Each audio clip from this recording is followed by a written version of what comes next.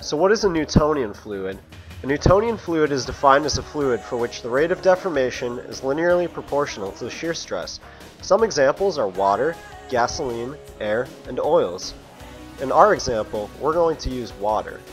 Non-Newtonian fluid does not exhibit a linear relationship between shear stress and rate of deformation. In our example, we mixed cornstarch and water to form a more formally known oobleck. The following series of experiments show how a non-Newtonian fluid behaves when stressed. Additionally, we will show a comparison to when a Newtonian fluid is stressed.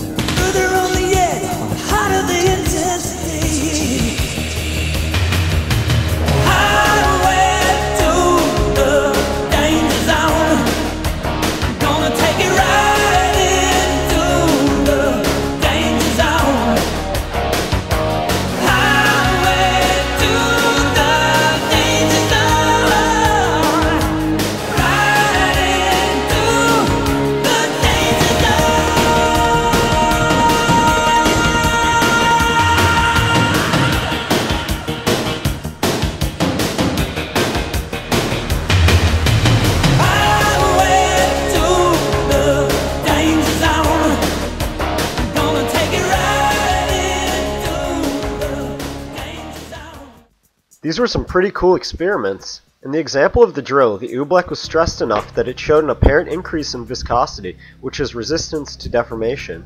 As a result, it adhered to the drill bit like a highly viscous fluid. When the stress is removed, it no longer behaves like a highly viscous fluid. In conclusion, you can see that water, the Newtonian fluid, behaves in a familiar manner. As it is stressed more, it deforms at a proportional rate whereas the cornstarch mixture, the non-Newtonian fluid, does not have a constant deformation relationship with stress. Thank you for watching. Maybe now you can make your own oobleck too.